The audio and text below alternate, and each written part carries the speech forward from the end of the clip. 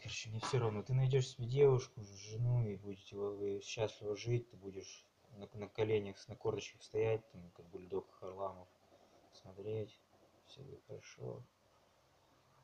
Я не знаю. У меня негативный. Я, я в депрессии.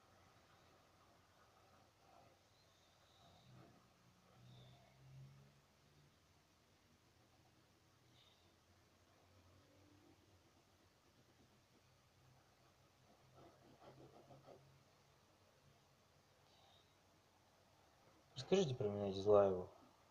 Не знаю, я просто говорю это в глупости, в отчаянии, потому что я один, абсолютно никто не слышит. Так вот этот дизлайф, он свое, свое лицо скрывает, а я не скрываю. Вот в чем весь прикол. Все вот эти вот блогеры, они скрывают свои лица, потому что они очень экстремисты, ну, по меркам общества современного, очень жесткие вещи говорят. Скорее всего, они меня проклянут, там, зовут, возьмите, но дизлайв вроде христианин, он, если он не лицемерит, то он по-доброму должен относиться к мужчинам вообще. Даже если, даже если еще Поздняков есть, что он сделает? Напишет о том, когда я сброшусь с высоты и запишу видео. Он, он, он читал, он смотрел все посты Позднякова, но он настолько тупой, что, что он все равно сбросился ради какой-то и там дальше начнет называть девушку ну, сами понимаете, словами, типа, сравниваю ее там, на букву Ш, первую Ш, а последняя А, там. Понимаете, короче, никакого нету эмпатии, никакого уважения людей друг к другу.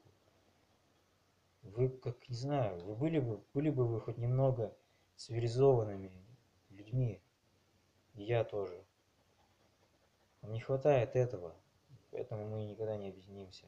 Мы все поодиночке. Мы, вот он получает свою выгоду, этот Поздняков. Просто и все. Он вообще открыто называет русских такими унизительными словами, хотя я сам русский. Ты можешь, ты можешь его контент разделять, но просто когда человек называет русских людей такими словами, от этого человека ты можешь, как бы, может он и правильно остальное все говорит, но человек, как правило, я вот сталкивался, ничего хорошего не принесет.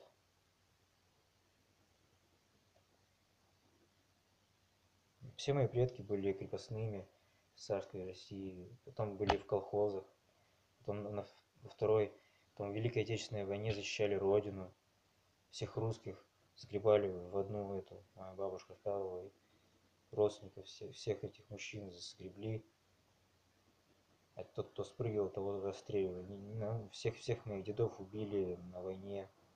Одного, один прошел всю войну, его убил снайпер немецкий. В конце уже в Берлине. Когда из Берлина возвращался. А теперь мы...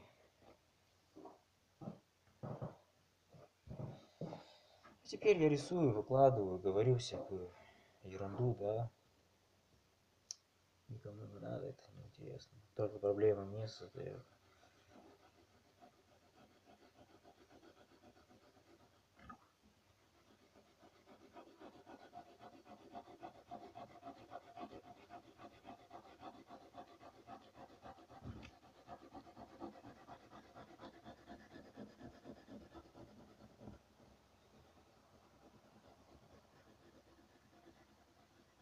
Если человека повредили в роддоме, то что, как он может накачаться?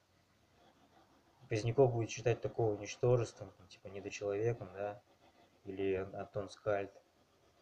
Антон Скальд, Скальд, кстати, рассказывал обо мне. Просто я ему имя свое не говорил, я под анонимной страницей ему рассказывал свои ситуации из реальной жизни. Он в одном из, из подкастов рассказывал обо мне, когда они общались с этим. А сейчас что-то он не хочет вообще. Когда я с настоящей страницы ему написал. Он там рассказывал вообще что я могу тайм-коды дать, где он про меня рассказывает. Да я могу просто сообщение своему переслать и все. Нет, у меня такое сейчас сложилось даже впечатление, что он просто смеется над, рус, над русскими, как бы, над тем, как здесь жестоко, у него, я не знаю, нету сочувствия. Такое ощущение. Но я его могу понять. Потому что если ты столько натерпелся, пережил здесь, столько хамства стучал, у тебя, конечно, возникнет какое-то злора... злорадство даже, что может вы и достойны такого отношения к себе, если ты смог уехать отсюда. Я не осуждаю его, просто жаль, что никто, только Рома Механик меня поддержал, там меня кое-кто подставил, сказав ему, что якобы я сказал, что заплатил деньги. На самом деле я не платил, никому не говорил, что я платил.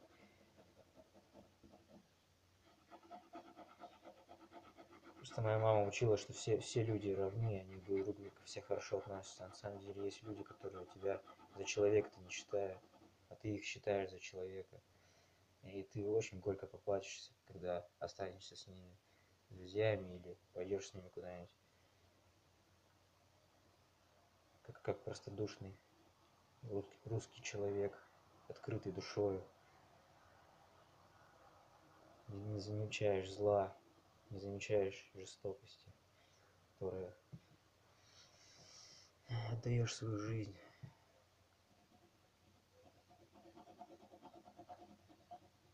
Ничего не можешь изменить.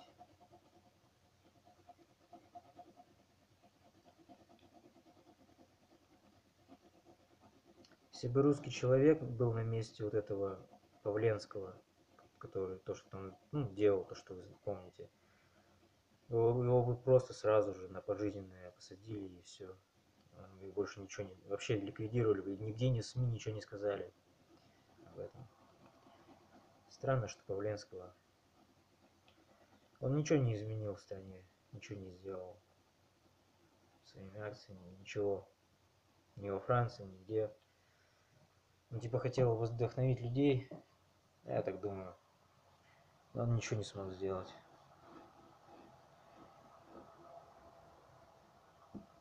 Он просто ничего не смог сделать.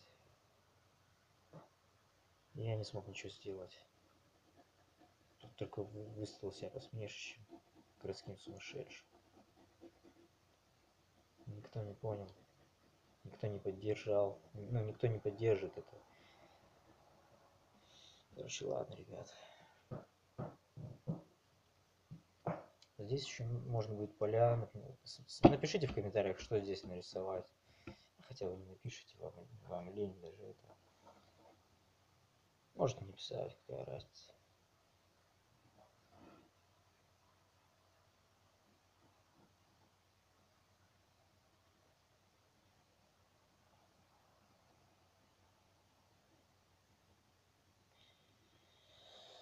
Да. Пособие на рождение ребенка. При этом, что Путин постоянно одно и то же повторял, что у нас рост рождаемости. Молодец, молодец. Интересно, куда он использует этих детей? Куда государство их использует? Собирайте конфуз, зовите меня, я хочу я хочу свою речь толкнуть. Я не об этом буду, а о другом говорить. Немножко, вкратце. Ну, две минуты мне всего лишь нужно. Собирайте из 50 каких-нибудь, которые пишут там по одной букве в чате. А, О, П, привет, П, И, У. И масса кидают там такие вот какие-нибудь конфы. Ну, какие обычно в России, в Рунете бывают. У меня же не бывает в Рунете конф конф конференций. А, блин. Я там речь толкну, они посмеются. Мимасы там все сделают. И покажу им картину антивоенную. И все. И западет им на, в душу. По крайней мере, они могут, может быть, поумнеют хоть, когда вырастут. Защитятся от бойни бессмысленной ради кучки банкиров. А может и наоборот. Это не повлияет на них. Наоборот, они подумают, вот какой-то только-только клоун может какое-то ну, ничтожество там. Что-то такое говорить. Как хотите, короче, ребят. Все, что хотите, делайте.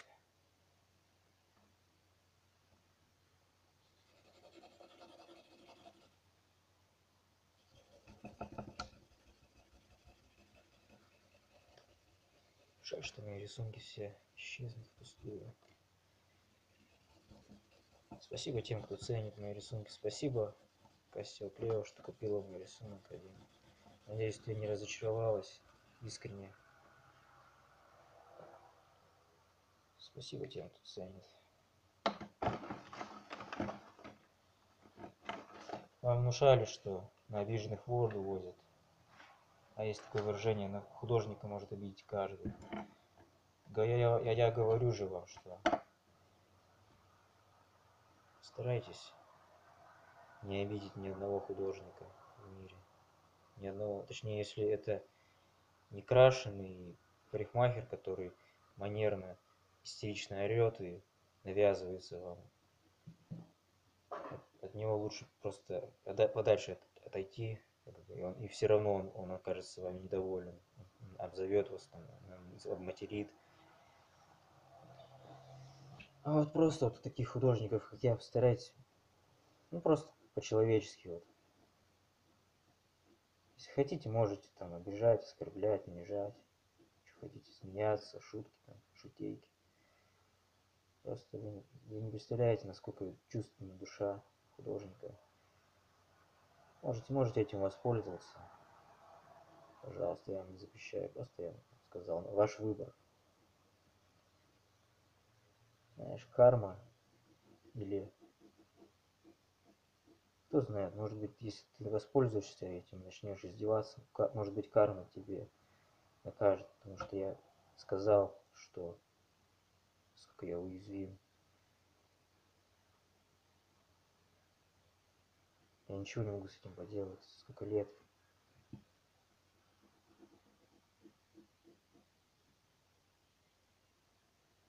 Путин тебе сказал, рожай. Это, иди там, детей делай, там, рожай, выходи, женись там. Так что иди.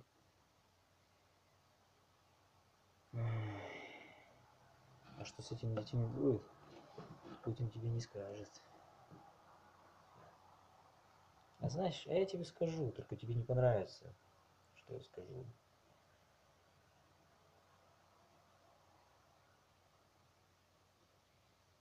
Я тебе это просто нарисовал на, на стене рисуночек. Что может быть?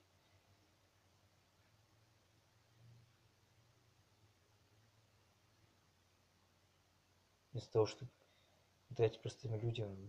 Ай, короче, стал говорить, повторять. Здесь вообще нету никакого. Это тебе не... Здесь невозможно ничего. Полное отчаяние чувствую. Полное одиночество. В стенах заперт я. В одиночных. Нет ни одной души, которая бы меня поддержала. Точнее, ну, есть там некоторые, но это просто нич, нич, ну ничто вот. Все вот, кто вот эти вот, кто что-то делали, они все ничто просто не сделали. Они просто... Ну, я тоже, то, что я делал, я тоже ничего не сделал. Но если бы я сжег себя, поджег себя бензином в этом, на этом митинге Навального тогда, как раз, то я бы просто тоже ничего бы не изменил. Меня бы просто посчитали дурачком, и все. Ну и моя мама, отец горевали бы. Это все.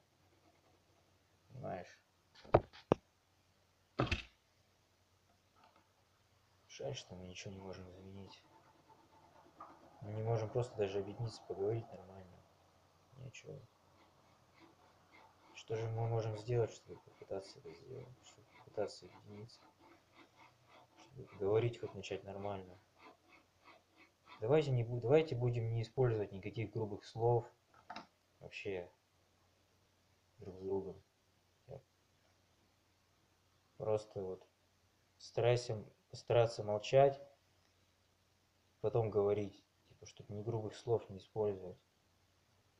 Может, может быть, это поможет.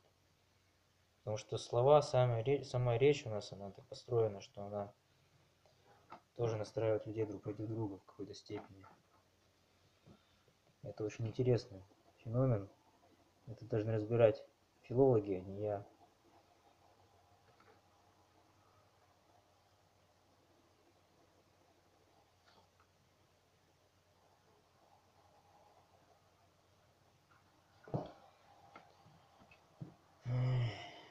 Очень хороший пейзаж получился. Снимаю на телефон Lenovo, который даже уже не выпускается. Жалуюсь на жизнь. Желаю вам всего хорошего, ребята. Надеюсь, у вас хоть бы, у вас нормально все. Сейчас я попробую еще найти синий мелок. Попробую воду прорисовать.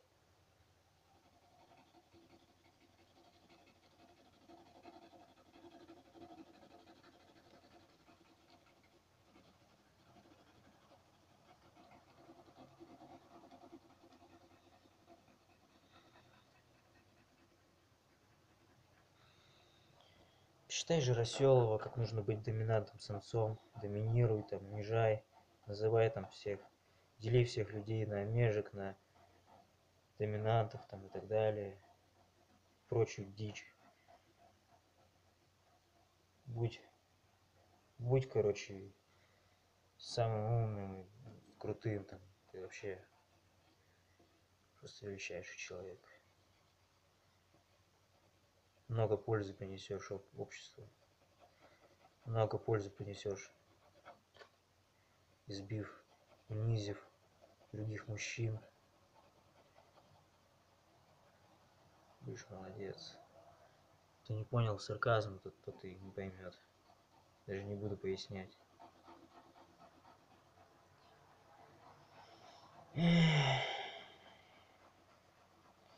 Смотри там этого Бирюкова, тоже стань настоящим мужиком. Вместе с этим Жироселовым, посмотри их. Вместе, вместе с э, не Жироселовым, а Новоселовым. Вот, забыл.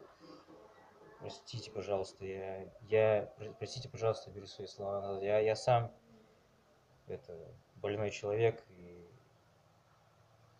я, я ни в коем случае не одобряю fat-shaming и так далее. То есть это наоборот хорошо, когда человек... Я наоборот всегда завидовал людям, у которых много веса, потому что не холодно, они... И вообще в России на самом деле больше уважают таких людей, чем, чем худых. Потому что худой человек гораздо слабее, хуже холод переносит. Ну, короче, слушайте Бирюкова, там этого, всех прочих. Молодцы, молодцы продвинулись. Короче, короче, без разницы, в общем, что хотите делать, я не смотрю больше блогеров никаких там. Не, ну я слушал же, ой, Новоселова по поводу коммунизма, что там раскулачивали с ужасной жестокостью, что это, это, я, это я считаю, он правильно говорил, что, что раскулачивали простых людей, которые просто трудились, это жестоко было я лайком поддержал там все. Но то, что он там говорит, что нужно доминантность свою показывать, нужно постоянно других мужчин унижать, там как-то... Ну, пожалуйста, унижайте, что хотите, делайте. Будьте, будьте, будьте доминантными, там, самцами и всякое прочее. Радуйтесь жизни. Вы же такие крутые все. Считайте себя суперменами. Вы же сверхлюди по Ницше.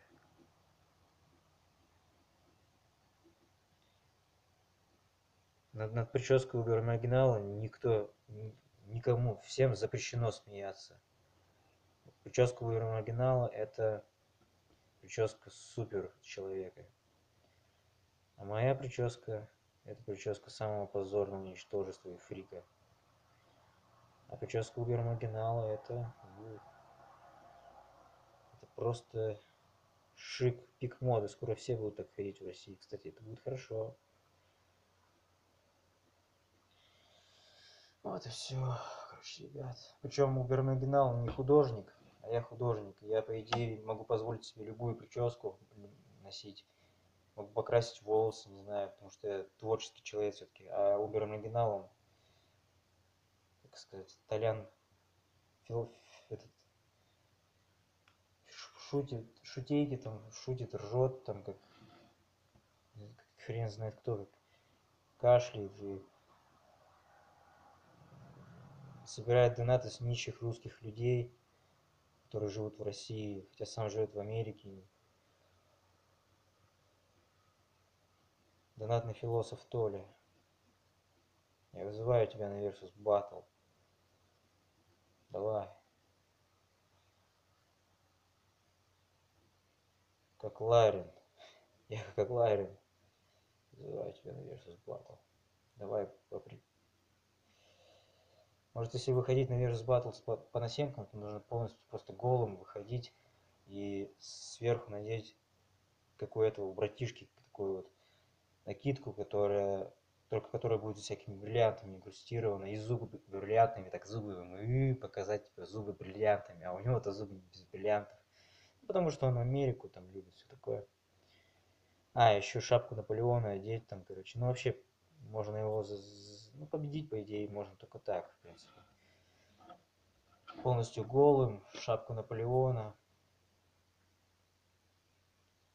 И кое-чем длинным таким розовым, то, что он любит. По, а, он любит Пэрис. Спеть песню про. Давай, Панасенков, пой песни.